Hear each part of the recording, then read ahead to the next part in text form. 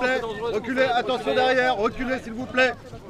Partons, partons, amis solidaires, marchons vers la lumière.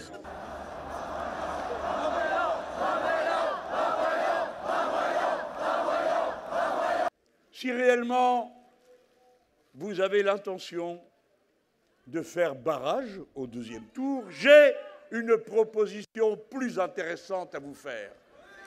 Faites barrage dès le premier tour. Et les Français vont s'emparer de cette élection.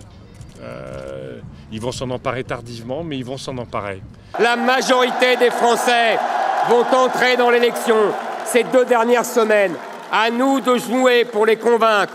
Et je suis convaincu que euh, dans les jours qui viennent, ils vont choisir un projet qui euh, à la fois répond à leurs problèmes de pouvoir d'achat. Le respect, c'est aussi mettre un terme à la vie chère. C'est de stopper la montée des prix du gaz, de l'électricité, des prix des carburants. Qui euh, crée de la dynamique dans l'économie, qui crée de la solidarité, de la bienveillance. Et quand je pense, quand je pense qu'il y a encore quelques mois, certains réclamaient la hausse du prix des carburants, soi-disant entre nous, pour dissuader les Français de prendre leur voiture. Mais un projet qui remobilise notre pays, parce que notre pays est trop divisé aujourd'hui.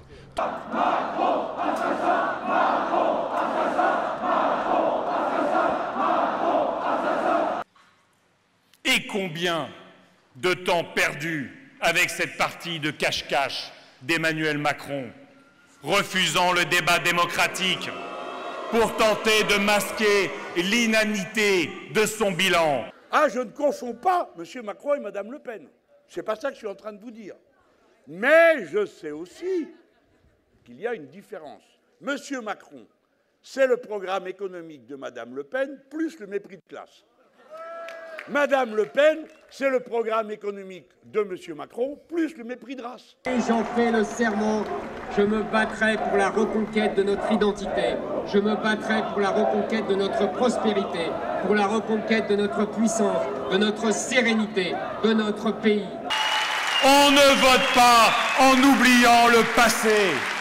On ne vote pas en oubliant les ambiguïtés face aux complotistes de la crise sanitaire en oubliant les soutiens à l'intervention russe en Syrie et les contentions ambiguës sur l'Ukraine.